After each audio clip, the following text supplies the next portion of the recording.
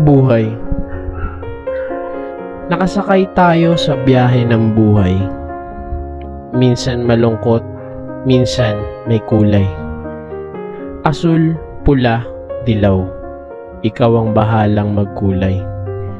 Tanging sa sarili mo ito nakasalalay. Napapagod? Pwede kang huminto. O di kaya naman, pwede kang dumiretso. Depende sa trip mo at kung ano ang gusto mo. Basta pag napaupo, huwag kalimutang tumayo.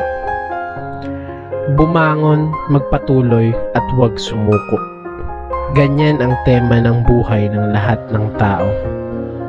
Depende sa iyo kung paano mo imamando.